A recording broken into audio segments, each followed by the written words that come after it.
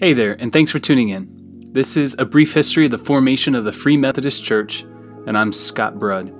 In order to understand Free Methodism and its history, you first need to know John Wesley.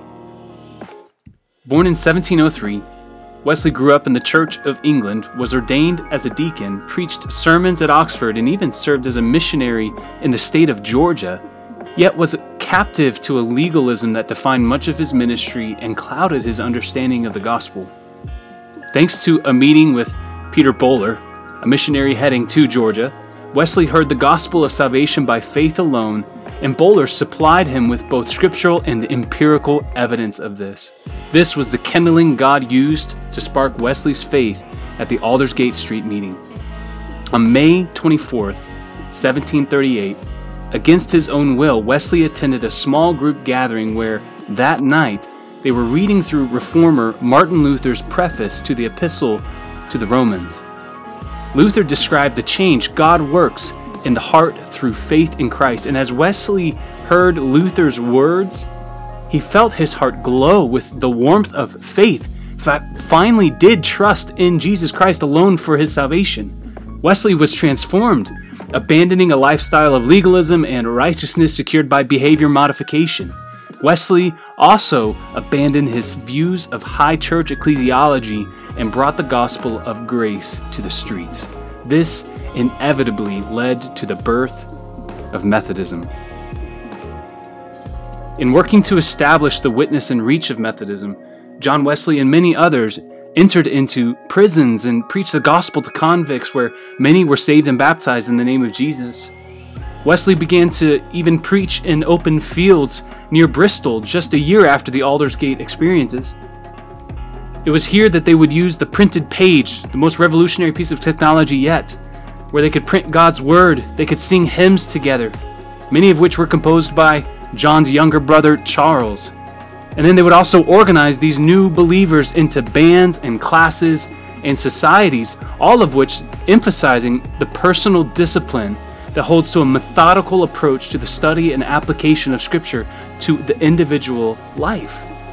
Now, the Methodist movement exploded so quickly because of these efforts that by the end of John Wesley's life in 1791, Methodism boasted over 76,000 members.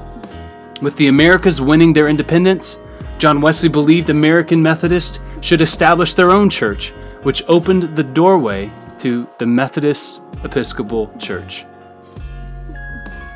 It was in 1784 that the Methodist Episcopal Church was organized under the superintendency of Thomas Coke, where an American Methodism agreed to adopt both organizationally and individually the Wesleyan pattern of doctrine and discipline. This new denomination grew under the leadership of Francis Asbury as they sent circuit riders throughout the newfound nation and they established annual conferences to organize the growth.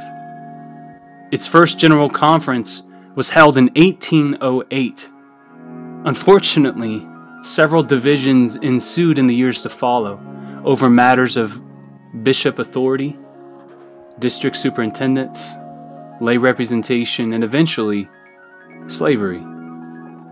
It was into this environment that Benjamin Titus Roberts entered the scene. In the late 1940s, at Wesleyan University in Middletown, Connecticut, the city and the school both experienced a Methodist revival under the preaching of John Wesley Redfield, a local medical doctor and preacher. One student who was particularly stirred in this revival was B.T. Roberts. Roberts had earlier been converted at an event that turned him from the study of law when he was nearly ready for admission to the bar to preparation for Christian ministry, hence his studies at Wesleyan University. When faced with the decision between the pastorate or Christian education, upon his graduation in 1848 at 26 years old, Roberts joined the Genesee Conference of the Methodist Episcopal Church. It was in 1852 that Bishop Morris ordained B.T. Roberts as an elder and then appointed him to Niagara Street, a central church of the district.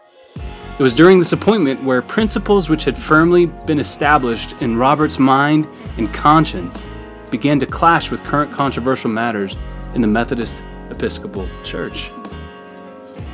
And the list of issues in the Methodist Episcopal Church was quite extensive. Of first importance was the matter of doctrine. Wesley had preached that believers are wholly sanctified not by the coming of death nor by the accumulation of good works, but by an act of faith in the redeeming God. Some Methodist clergy began opposing such a belief, stating that entire sanctification is received upon the moment of justification. Secret societies was another matter.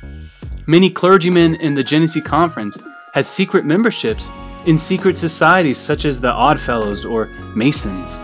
These men banded together to influence conference votes, intimidate younger members of the conference, and manipulate appointments of other elders in the conference. Foundational Wesleyan theology taught such a practice of slavery was inconsistent with Christianity.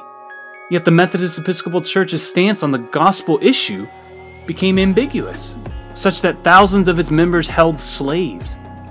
The conservative sect of clergy was uncompromising on anti slavery doctrines, while the secret societies strongly opposed. The rental of pews excluded the poor and gave preference to the rich. This became a general practice in American churches, particularly in the Genesee Conference. This practice elevated the wealthy to higher positions of favor while discriminating against the poor. And finally, worldliness was rampant. Christian devotion waned along with Christian giving. Churches began fundraising for support through events, eventually leading to activities such as card parties, dances, and drinking parties. Belief that the church would grow through such means as these permeated the conference. And in response to these weighty matters, B.T. Roberts penned a treaty titled New School Methodism, in which he argued that Methodism had split into an old school and new school. He warned that if the new school were to generally prevail, then the glory will depart from Methodism. The article was brought to the attention of conference leadership, who put Roberts on trial, convicted him, and reproved him for his actions. After the article was published again without his consent, Roberts was charged with unchristian and immoral conduct, and as a result, Roberts was declared expelled from the Genesee Conference of the Methodist Episcopal Church. Now, he and sympathizing clergymen and laymen appealed the case to the General Conference. Before this conference, these dissenters passed a resolution declaring their devotion to their church and unwillingness to secede due to their commitment to Methodism. However, the General Conference denied their appeal and their expulsion was finalized.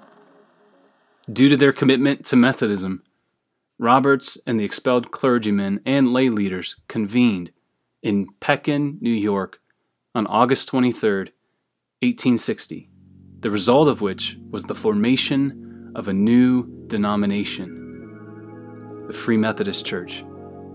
This new denomination was to be marked by four main freedoms. First, freedom from slavery. This Methodism was committed to its abolition based on its firm stance on Scripture freedom from secret societies. Christ Jesus and his church holds his people's primary loyalties. Free seats in all churches. All are welcome to come, no matter the race, gender, or social status. And finally, the freedom of the Spirit in worship. Worship wouldn't have to be constrained by certain liturgies or behaviors. Additionally, this newfound Free Methodist Church reaffirmed its commitment to the doctrines and usages of primitive Methodism, including the witness of the Spirit and entire sanctification, and an equal representation of ministers and lay members in all of the councils of the church.